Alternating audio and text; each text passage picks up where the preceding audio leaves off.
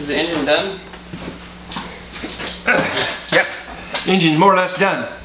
All right, last episode uh, we took apart the uh, Honda XL 600R, the 1983 model, and tore apart this engine and rebuilt it.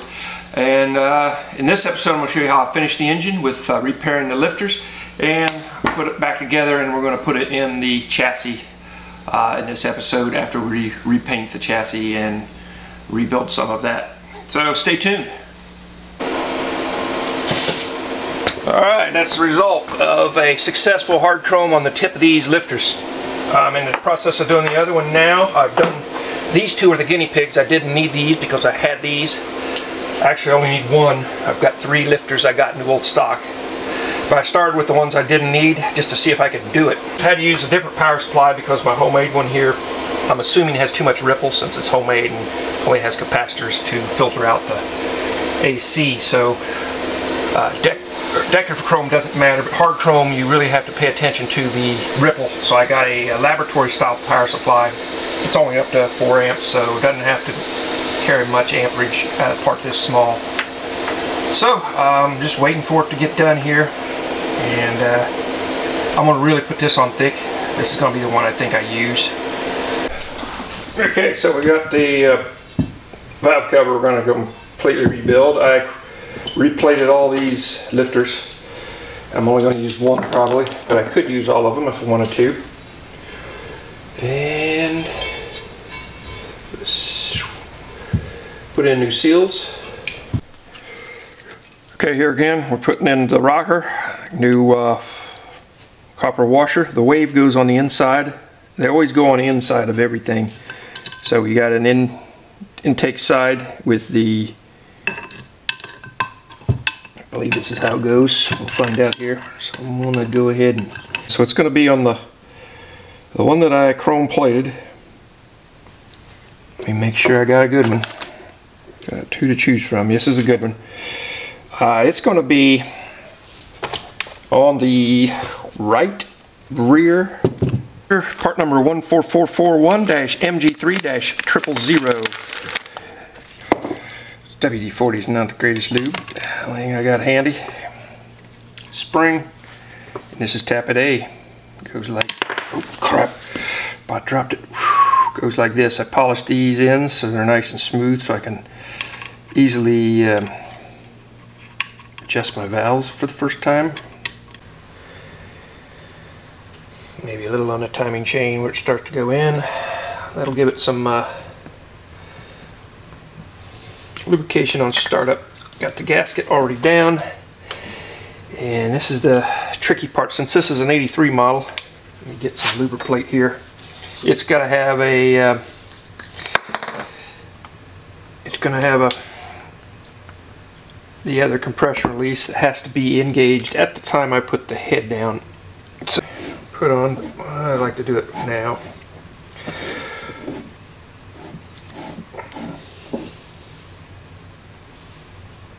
I'm going to push in and hold down this thing open so that right there little divot fits down inside the uh, fifth valve. Got the gasket down, looks good. Let's see if I can get this on the first try. There's two dowels right here, one here, one here. Those have to be in place. And you kind of line it up on the dowels is all you got to do. And then uh, once it's down, the compression release should automatically fall in the little divot. Yeah, you can feel it with your hands. And then you want to put this one in the center first. I don't think there's a copper. Okay, this uh, six millimeter bolt gets six to nine foot-pounds of torque. And of course you tighten them in a crisscross pattern this one in the center, it's an 8 millimeter bolt that gets uh, 15 to 19 foot pounds. Might want to get it tight first. Go. So, gradually, and then the rest of these get, uh, where's the wrench? I can do this by feel. Rest of these, let's see, I went there, so you want to crisscross it. Rest of these get uh, 6 to 9 foot pounds. crisscross pattern. So I will get it close with my feel and then four thousandths on the exhaust 0.004 kind of hard to do this you have to hold this open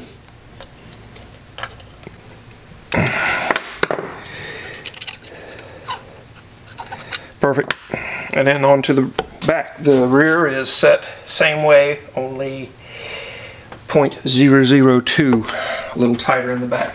Comment that wanted to see how I put all this together so grab some Loctite.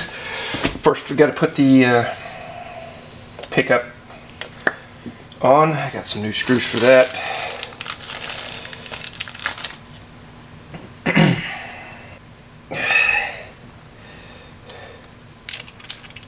goes like this.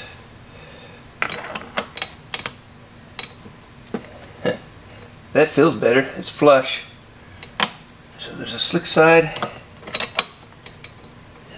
That just don't feel right because there's a you don't want a gap there. So goes rough side out. Casting or yeah, out like that. So these gears are flush here.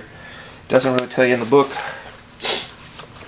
just put this collar on here and then uh, to put it fits on and then you gotta make sure it fits on the gear. There it goes that feels better. Okay so make sure it bottoms all the way out. You can tell by looking in here and see if the gear is flush.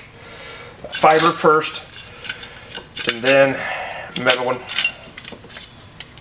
Metal fiber metal fiber. You can just keep stacking them until you run out of clutch plates.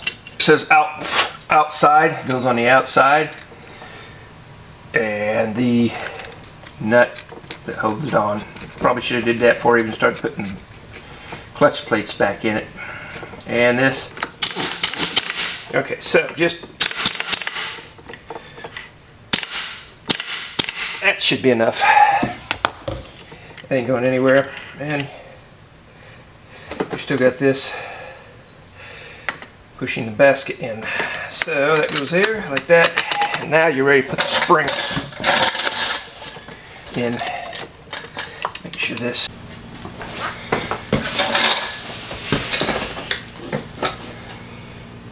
Okay, so I uh, just powder coated the uh, side cover and this oil filter cover. I went ahead and installed the new oil filter, uh, cleaned up any burrs from powder coating, installed new bearings, new seals here, new seals here and here.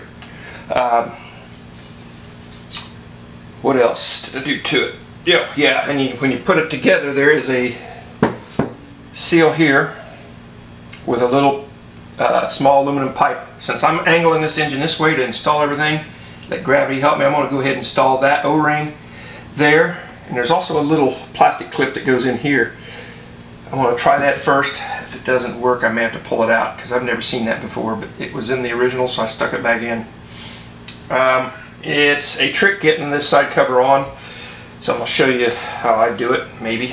Um, I didn't take the complete kickstarting gear out, so what goes in first is this washer here that's cup shaped, cup facing me, then a spring, then I have to show you, there's a little divot right there that goes on the punch mark on the wheel there. Let me show you a close up. Dot here, there's a dot here. That lines up on the spline so it lines up with the dot, like that. Just kind of like draw a straight line between here and here and there's the dot and then there's another thin washer that goes over top of that. RTV on the gasket and that's an option. I'm not going to do that. I just don't believe in it. Make sure I have the O-ring and the aluminum sleeve in place. Since I've got the dowels are stuck on this side, I'm going to put the gasket over top of the dowel pins.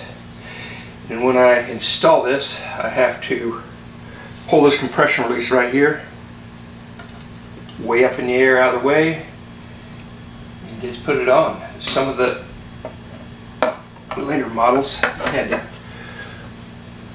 mess around with the uh, whoa. You kind of make sure the gasket don't get pinched.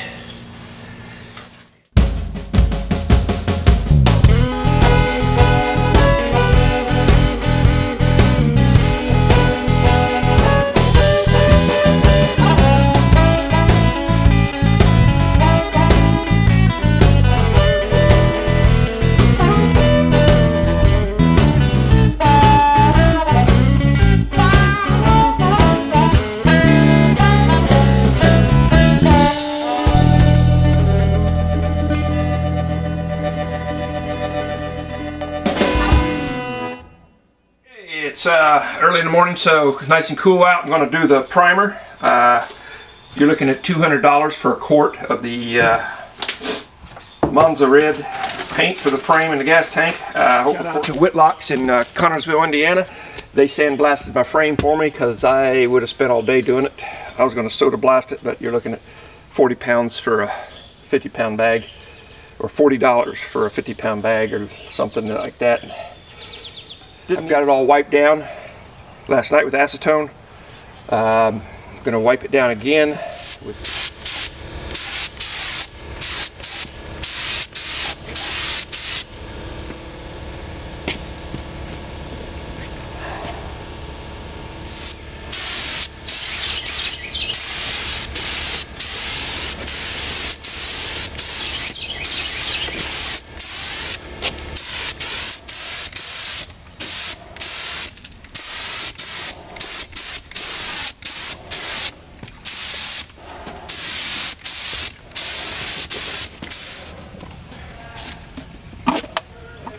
way too much. I'll have to paint the whole thing, half of that. I'll go get the swing arm ready.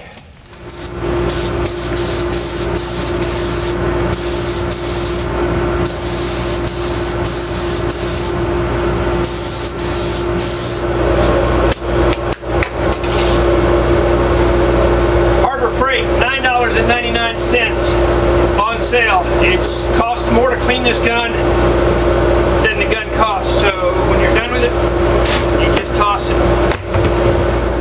Okay, so maybe don't throw away these after each use. Uh, just got this brand new one out of the box. And it leaks around here, so you can't just, uh, oh, it's leaking. Needs a, uh, you need to take it apart and work on it. If you need a good video on how to set the Harbor Freight paint guns up, uh, watch my friend uh, Gixxerman01 on YouTube and he can show you all how to set up a paint gun like this. But yeah, you can't just get it out of the box and use it. You got to go through, run some solvent through it, clean all the uh, shipping gunk out, and shoot some lacquer thinner through it just to see what the pattern's like before you actually go use it. You get some good ones and you get some bad ones. I tell you, they've cheapened up on them since uh, last one I bought. This thing feels really crappy. I mean, it still probably shoots good, everyone I get's different. So if you get a good one, clean it a few times.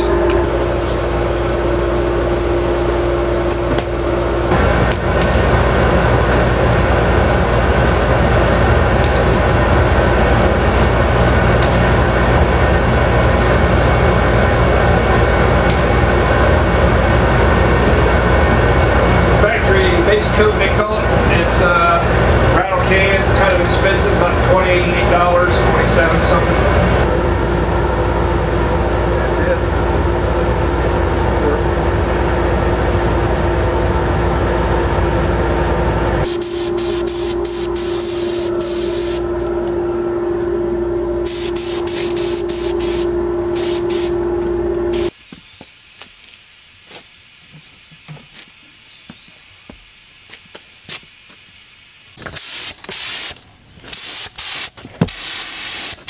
Yeah, it's getting dark fast. Sticked around too long, waiting for the sun to go down, and then it went down. It goes down quick.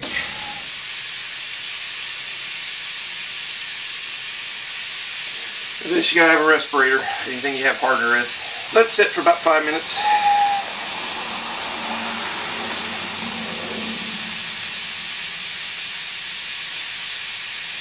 Called sweating in. I always use a different gun for clear coats. I got this one here and I'm going to put the new Harbor Freight, uh, the one that comes with it, the cup that comes with the Harbor Freight gun is actually better than these little throwaways that they also sell. The problem with the throwaways is they don't fit. I had to take a belt sander and grind this portion here off so this would go all the way down. It still leaks around here. These are just crap. But they are throwaways. You're supposed to use them a couple times and throw them away. But they leak too much. I don't want to take a chance of this dripping. So I got the uh, original one on a I stripped all the purple off. Uh, these Harbor Freight guns are like SATA knockoffs, uh, but they paint really good. This is an early one I bought a long time ago. It really paints good. I've got a DeVilbiss I use for like big stuff like cars, but uh, to tell you the truth, it doesn't paint as good as the Harbor Freight one. And then I got a uh, AccuSpray over here. I sometimes use for clear uh, because it's high solids. Um, but it thinks probably, yeah, it's still unscrews. Uh, I don't like it either. It's just, doesn't paint very good.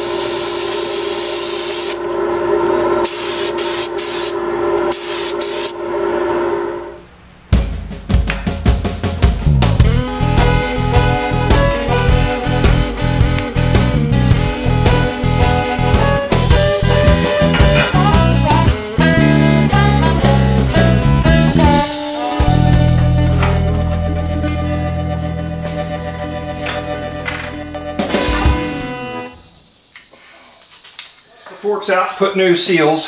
Um, I can always I can put the dust cover on after I put the forks together. I'll show you how you put the forks on if I can do this by myself. It's kind of tricky. Um, but anyway, there's a lot of silt, which is like aluminum silt down the bottom. You need to flush all that out with brake cleaner and then put your rod with your little piston ring and then there's a spring that goes underneath of that. Drop that down in gently. Falls through the hole and then we'll put our spring in the person must have worked on this before, put the spring in upside down. It's the tapered side. If you look close, it kind of tapers in. That goes down. It was actually, both springs are upside down when I got them. Then there's a little flat washer. And then there's a spacer. And then there's the cap. I'm just going to start it. Now you got a little tension on it. This thing will stay in place, so make sure everything's clean first.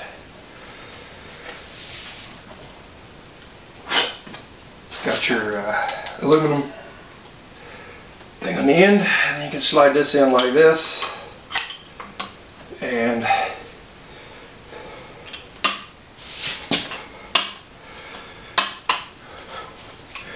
put the screw in the end. And the best way I found to tighten these, you're supposed to tighten them with an Allen wrench, but you're going to get so far and it's not going to tighten, so I just hit it with an impact wrench and they tighten right up.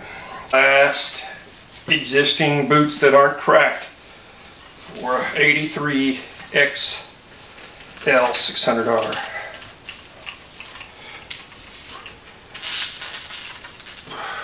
Thanks to my buddy at Ike's Bikes in Richmond, Indiana, got me some fork oil here on a Sunday. He normally don't do that for just anybody, but they're closed on Sunday. And I needed to get this project done. So 455 cc's, I use my clean, just about the whole bottle, so one bottle per fork with a little left over. 50.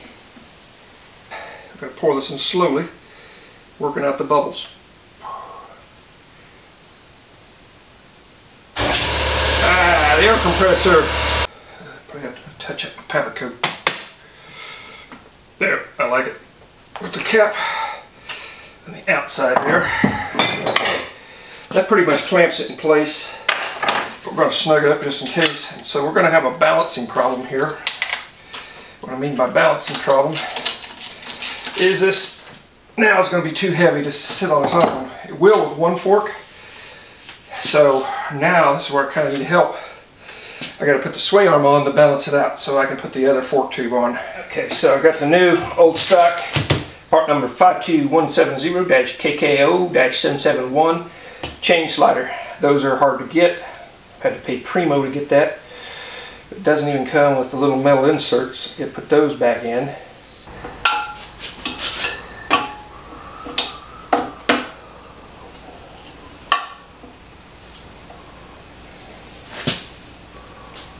there.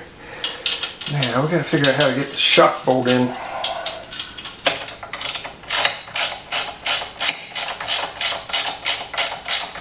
Greased all the joints.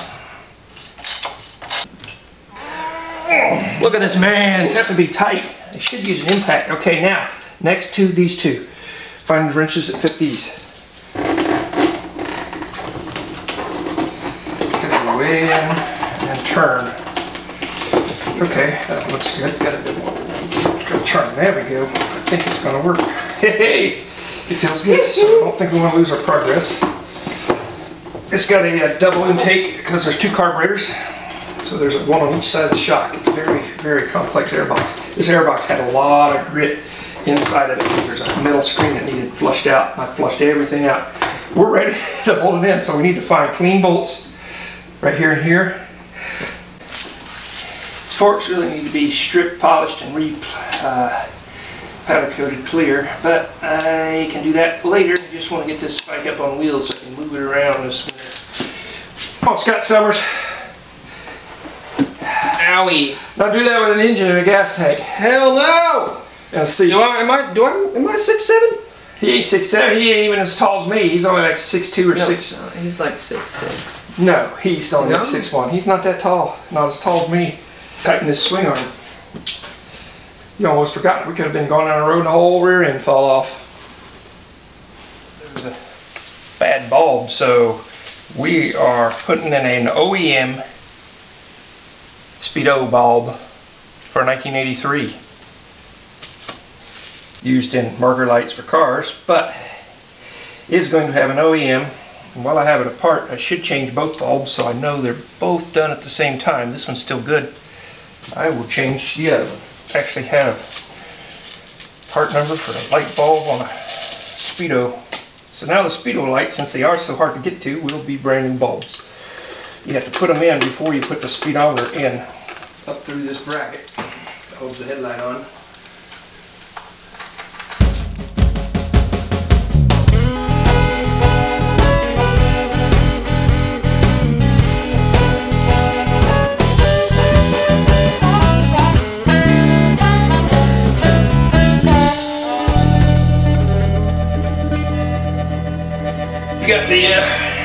Chassis all painted up, and I'm gonna take some masking tape and just kind of tape over some of the frame members in case we uh, bump it hard enough to put a scratch in it or a nick. This paint's pretty thick, so it's gonna nick before it scratches.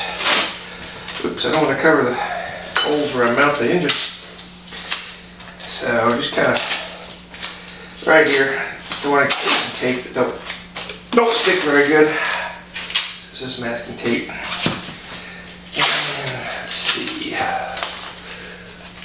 got everything laid out that I think I'm going to need. I repainted the uh, mounts that go on the top here. Front mounts, the rear mount, all the mounting bolts, and I powder coated the little spacer that goes in the front bolt that goes through, and I cleaned all the bolts up. Now if I was doing a a museum quality restoration since my son's probably going to be riding this all the time it doesn't really matter. I would rechrome each bolt one at a time. And it takes forever.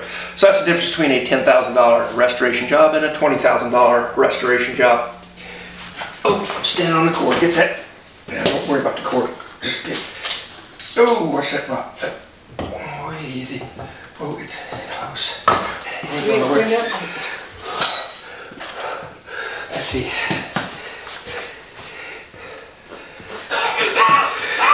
Quit making fun of old man. You're healthier than I am. Hold that wheel, steering wheel. So it doesn't- What steering wheel? Whatever. You know what it's called. No, I don't. Oh. Yeah, there we go. Yeah, Over here. There we go. Okay. Whew. And then we got bolt there, the spacer along with you. Okay, the spacer goes in like this. There we go. Go home, kid. There we go. Perfect. Is that in? Yep. That's give me in. The, give me the, Now, oh, what? give me the, the nut. Somehow we have to touch up. Your bike? I didn't think so. Yeah, it's my bike. and just now took it over just now. Ow, Just- here. that just happened. Okay, so just snugging everything up. But there we go. Engine's in. We just gotta bolt her up. In. the oil pipe on. Uh, looks like that's all the time we're going to have for this episode. Uh, but don't forget to hit that like button and subscribe so you can see the next episode where we finish this thing up and get it started.